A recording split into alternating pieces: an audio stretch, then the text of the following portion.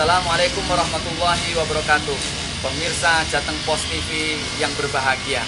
Pertama marilah kita panjatkan rasa syukur kita kehadirat Allah Atas segala karunia nikmat yang Allah telah berikan kepada kita. Pada hari ini di bulan puasa Ramadan ini Kita menemukan kebahagiaan yang luar biasa. Terutama ada amalan-amalan yang sungguh sangat cerdas Bagi orang yang mengetahuinya Amalan apa itu? Yaitu amalan memberi makan bagi orang yang berbuka puasa. Ini adalah amalannya orang cerdas. Kenapa?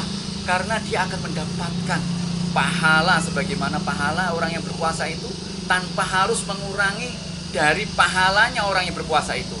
Sebagaimana Rasulullah Shallallahu Alaihi Wasallam bersabda, "Man fatoroso iman falahu kamisli ajruhu min huairi ayang kuso syai'an." Barang siapa yang memberi berbuka puasa kepada orang yang sedang berpuasa, dia akan mendapatkan seperti pahalanya yang orang sedang berpuasa tersebut tanpa harus dikurangi sedikit pun. Ini yang luar biasa, amalan cerdas. Bagi orang yang mengetahuinya tentu akan menjadi rebutan amalan seperti ini. Apalagi kita tahu bahwa Rasulullah SAW dalam kesempatan yang lain bersabda bahwa barang siapa yang menyediakan peralatan untuk kepentingan kebaikan maka dia mendapatkan pahala yang sama. Barang siapa yang mempersiapkan perlengkapan peperangan dia akan mendapatkan pahalanya jihad. Apalagi kalau orang yang sedang berpuasa itu yang diberi makan itu yang diberi buka itu adalah orang yang mau berdoa kepada Allah Subhanahu wa taala. Karena ada tiga doa yang oleh kata Rasul yang tidak mungkin ditolak oleh Allah Subhanahu wa taala. Doa yang pertama adalah Al-Imamul Adil. Doanya imam yang terpercaya, doanya imam yang adil, doanya pemimpin yang adil. Pemimpin yang adil, dia akan memberikan doanya kepada masyarakatnya, itu doanya cespleng, pasti diterima. Ini hebatnya. Al-Imamul Adil. Yang kedua adalah doanya orang yang berpuasa ketika dia sedang berbuka. Sedang dia berbuka, dia doanya sangat mustajab diterima oleh Allah Subhanahu wa taala. Apalagi dia berterima kasih berdoa kepada uh, kepada Allah terhadap orang yang telah memberinya dia uh, berbuka, dia akan mendapatkan masya Allah karomah yang luar biasa. Ini yang kedua dan yang ketiga adalah doanya orang yang didolimi. Doanya orang yang didolimi juga termasuk mendapatkan mustajab dari Allah Subhanahu Wa Taala. Tidak ditunggu-tunggu lagi, pasti langsung cespleng. Nah, oleh karenanya kembali lagi kita ke bahasan bahwa barang siapa yang memberi makan berbuka puasa bagi orang yang berpuasa dia mendapatkan pahala seperti itu. Oleh karenanya mari kita berbondong-bondong untuk memberi makan orang yang berbuka puasa.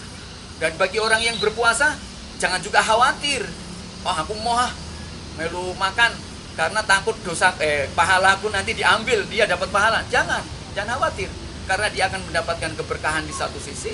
Yang kedua, pahalanya sama sekali tidak diambil oleh orang yang e, memberikan buka kepadanya.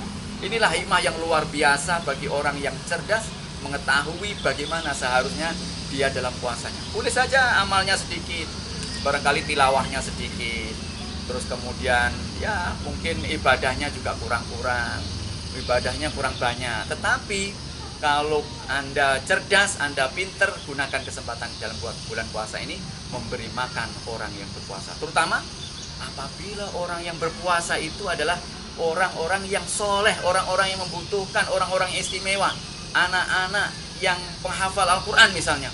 Masya Allah, Anda akan mendapatkan pahalanya, tidak hanya pahalanya Anda, oh, Anda sendiri, tetapi pahalanya anak-anak yang sedang belajar Al-Quran, menghafalkan Al-Quran orang yang membaca Al-Quran itu.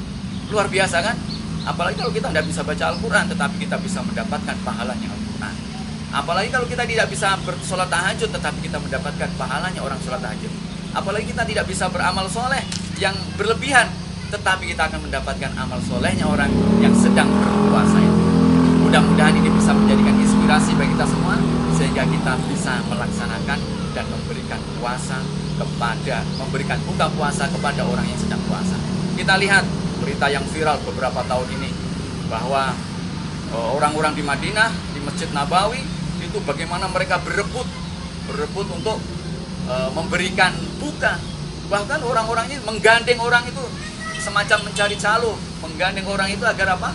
Agar tidak lepas, agar dia bisa mengikuti buka bersama dengannya karena dia tahu bahwa orang memberi makan orang yang berbuka puasa itu pahalanya seperti orang yang sedang uh, berpuasa tersebut. Mudah-mudahan bermanfaat. Bila itu Wassalamualaikum warahmatullahi wabarakatuh.